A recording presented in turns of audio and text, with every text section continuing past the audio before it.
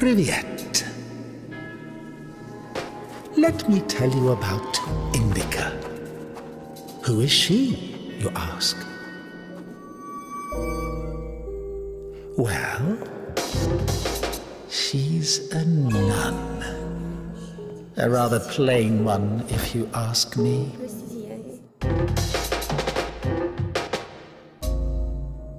She prays a lot, works hard.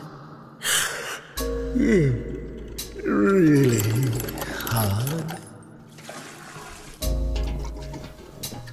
On top of that, she's obedient and humble. Goodness, she even finds some time to chat with, what do you call it? Chort. Poor, poor girl. Of all the boring places. Why do you want to go to heaven?